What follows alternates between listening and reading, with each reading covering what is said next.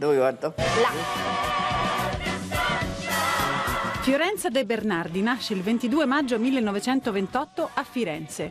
È figlia di Mario De Bernardi, pioniere dell'aviazione italiana, che è stato uno dei migliori piloti al mondo, ma anche uno straordinario collaudatore e inventore. Ed è proprio con lui che imparerà a volare. Fiorenza consegue il primo brevetto nel 1951, partecipa ad eventi di volo sportivo e gare. Nel 1967 entra all'Air Alpi, diventa così la prima donna pilota commerciale in Italia, poi il brevetto di pilota di montagna, nuovamente prima donna in Italia e comandante dell'Air Tirrena, ancora prima donna in Italia e quarta al mondo. Sposata, separata, senza figli, termina la sua carriera a seguito di un incidente d'auto nel 1985, con all'attivo 7.000 ore di volo. I genitori, dopo gli studi all'Accademia delle Belle Arti, la lasciano libera di scegliere il suo futuro. Prendo una baita in montagna, vendo birre e salsicce e in città non mi vedete più. Insomma, il volo non era proprio nei suoi pensieri ma il destino voleva Fiorenza tra le nuvole e lei, con grazia e caparbietà, ha scalato tutti i gradini di una carriera un tempo preclusa alle donne. La divisa, per esempio, l'ha voluta subito con la gonna. Si deve vedere da lontano che sono una donna.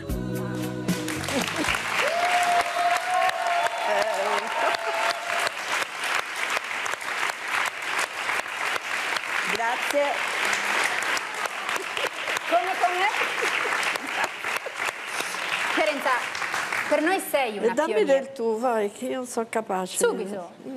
Anzi, se vuoi si parla pure un po' in fiorentino, perché Oh, sei- via. tu, in realtà sei nata a Firenze E sono nata a Firenze, sì. e poi ti sei trasferita subito a Roma. Sì, a due anni, però poi sono tornata all'aeroporto di Firenze dieci anni, lavoravo basata lì. E Firenze ti è rimasta nel cuore. Beh sì, eh sì, io sono proprio fiorentina. Ti consideri proprio fiorentina? Sì. Oddio, voglio bene anche a Roma, per amor di Dio, però, però sono fiorentina. E la, Infatti- mia fa- la famiglia di mia madre pure è fiorentina, invece da parte di mio padre sono piemontese. Raccontaci della prima volta che sei stata insomma in volo, eh, se ti ha guarda, io papà oppure no. Appunto devo ai miei che pur essendo figlia unica e tutto quello mi hanno lasciato libera nelle mie scelte nel sì, nel no, eccetera. E infatti ogni tanto pigliavo, mamma era la più militare, a quell'ora si mangia, non si lascia niente del piatto, quelle cose lì per carità. Però poi io pigliavo un sacco in spalle e me ne andavo e lì fine- fine- non c'erano i telefonini, guarda, una, una cosa meravigliosa. E quindi ti accampavi nelle montagne così fuori da tutto, che è molto bello. E col tuo babbo, visto che sei Con toscana mio come babbo me, e col mio babbo andavamo d'accordissimo. eh. Sì, era un uomo meraviglioso, a parte che è stato uno dei piloti più grandi del mondo e lo dico proprio, lo so. Ma poi è stato un padre fantastico perché anche lui, ma anche lui no, nessuno mi diceva ma vuoi volare, ma proviamo. No, io pensavo sempre che me ne sarei andata con una baita in montagna e quindi il volo era dietro. che lasciamelo dire di per sé era già un sogno abbastanza originale. Eh? Eh, Come beh, mai ma io le Firenze montagne le ho amate da quando sono nata. E allora, poi invece un giorno un amico di mio padre mi fa che vuoi salire da un grosso aereo militare? "Mm, Salgo, ho fatto io. Dopo quando sono scesa dissi a mio padre, ma che aspetti a farmi fare un brevetto? Quanti anni da un momento all'altro. Sui 20, 19-20 era quella l'epoca. Allora, e allora abbiamo cominciato. Allora, cosa ti ha però, detto? eh? Tuo padre cosa ti ha detto quando gli hai detto quando... Mi ha detto va bene, te Sì. va, e allora lo facciamo. Senza problemi. Allora però volavo allora prima, ti copro l'indicatore velocità perché se si rompe, ti copro l'indicatore di quota perché se si rompe, cioè tu devi se- sentire gli aeroplanini piccoli col sedere e te devi arrangiare anche senza uno strumento, capito? Cioè lui voleva che sapessi atterrare comunque. Allora un giorno che uffa, dissi guarda vado a fare un volo con Morici, era un vecchio istruttore che, che stava lì all'Aeroclub di Roma. E invece mi, vai, vai, mi ha detto, mi sono messa nell'aeroplanino, ho dato un motore e me ne sono andata. Un volo che non scorderò mai, guarda, c'era un falco che volava sotto di me, una meraviglia, finalmente sola in questo cielo. Poi ho atterrato tutto bene e dopo dissi, mo che mi dice? È felice perché gli ho tolto il momento, che è il momento dell'istruttore peggiore, diciamo, peggiore per modo di dire, nel quale devi atterrare con l'istruttore, lui scende e ti dice vai. E quello è sempre un momento per l'istruttore di grossa certo. responsabilità. Responsabilità. Invece io gli ho tolto quel momento. Gli hai fatto un favore Ho anche a fatto un lui. favore. A essere intraprendenti eh, ci si guadagna sempre. Eh sì. E poi il fatto... poi, sai, poi è stato... No, perché a volte non ci si pensa. Invece a un certo punto c'è stato, con le prime poi americane, da studiare un sacco di cose. Quanto può volare incinta una donna ai comandi?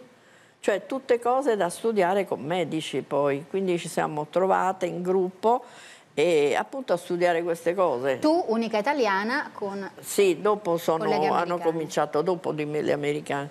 Però poi ci siamo incontrate con qualche medico a studiare un po' queste cose. C'è chi ha volato fino al quinto mese di gravidanza, non in Italia perché qui arriviamo sempre dopo queste cose. No, ma anche perché all'inizio in Italia tu eri la sola. Sì, beh, in principio, ma come sono Fellino cominciate Nero. qualcun altro abbiamo dovuto trovarci e ragionarci sopra. E quindi... Senti, meno male che tuo padre ti ha insegnato ad atterrare in qualsiasi tipo di Sì, condizione, sì. di clima, eccetera, eccetera, perché tu hai dovuto affrontare anche degli atterraggi di emergenza particolarissimi. Beh, vabbè, certi- certe volte capita, dico non coi passeggeri per fortuna, però io sono finita, guarda qui c'è, eh, quando sono finita nell'acqua, sott'acqua. Quello è un libro con la sua vita. Sì, Ci sono anche delle immagini in bianco e nero bellissime. eh, adesso se viene fuori se no ciccia. eh. Se no ce lo racconti tu. Sì, eccolo, vedi? Eh. Per Oh, esempio, mamma mia. senza un graffio. Ce la facciamo Salvatore? Non lo so perché è molto piccola, ma insomma, quello in acqua è il suo aereo. Mamma mia, che spavento. No, ma appunto quello per dire, sono tutte cose però che manca un graffio. E poi mi sono andata invece a infrociare con la macchina perché mi sono addormentata. Ma questo molti anni dopo, molti anni dopo. Però...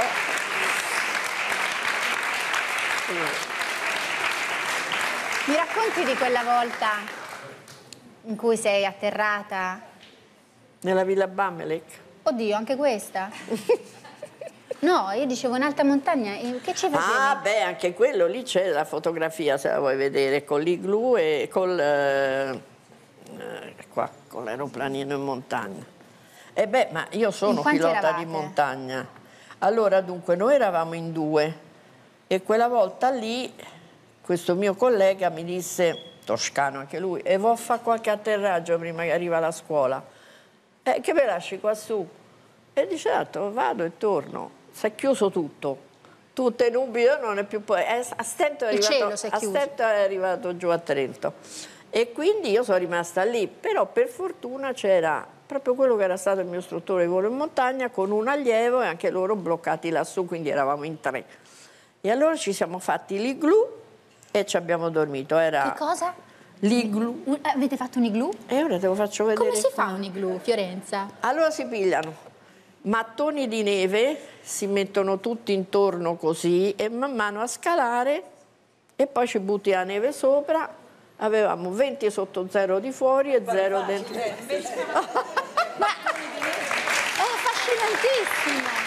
Invece dei castelli di sabbia, castelli di neve. Castelli di neve. Ecco, vedi? Eh, Vedi vero. l'igloo? è vero! E questi sono i due aeroplani. Eh, anche qui è difficile, ma ci proviamo, eh, ci proviamo. D- eh, Datemi una piccolo, camera. piccolo, piccolo. Qua, là, dove? Una, una qualsiasi, ragazzi. Sì? Ecco. Ah, questo è vede il suo però. aereo e questo è lì l'igloo che hanno è costruito loro. vedi? E poi c'è l'altro aereo. Per quanto tempo siete rimasti lì tre. sotto? Eh beh, siamo stati una mezza giornata, tutta la notte. Senti, sono le notti più belle, senza un telefonino, senza chi interrompe. Portatemi in un igloo! Fuori dal mondo, capito? Ma è vero, è vero, sei fuori da queste confusioni dove siamo tutti i giorni. Senti, dimmi la verità. Tu sei diventata pilota e hai amato il volo perché lo faceva tuo padre. Beh, certo, mi sono trovata in mezzo per quello, se no magari non andavo manco in aeroporto, invece ci vivevo in aeroporto. Quindi... Ma quando tu hai iniziato a volare, te lo, cioè, te lo immaginavi tuo papà che dal- dalla terra ti guardava ed era orgoglioso di te? Sì, sì, lui era contento, sì, sì. Ti dava mai dei consigli? Ha, ha voglia. Guarda che bella questa foto, questa ve la devo far vedere perché è troppo bella. E beh, sta tutto qua dentro, vedi, qua sono io con l'aereo su- sulla rive. E mo ti faccio vedere. Chi è lui? Questo è Geiger, che è stato uno dei più grandi piloti di montagna, svizzero. Ti sei mai innamorata di un pilota? Di mio marito? Ah, te lo sei sposato? Eh, Anche. Però poi ci siamo separati.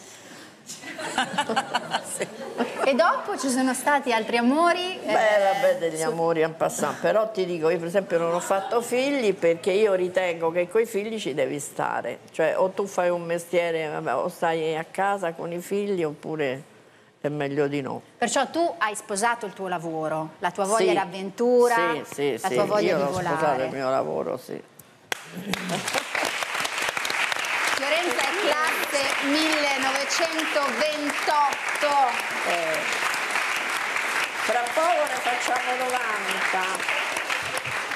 Se Ma ci invece- arrivo ne faccio 90. Invece le donne, il rapporto con le altre donne, non dico Vedi le qua parlavano di me pure Sì. in Turchia, lo vedi? Perché passavo credo. con quest'aereo che è portato in Australia. Ti va di mostrarlo anche alle telecamere? L'ho eh? portato in Guarda qua, Australia. Salvatore. Beh, vabbè, sono tutte cosettine che gli do piccoline. Ma quello, vabbè, con lo yak, ma con quell'altro in Turchia. Ma le altre vabbè, donne? In Australia, su qualche giornale è venuta questa donna che è arrivata dall'Italia a presentare un aeroplano, eccetera. Eh. Ero anche con un altro comandante.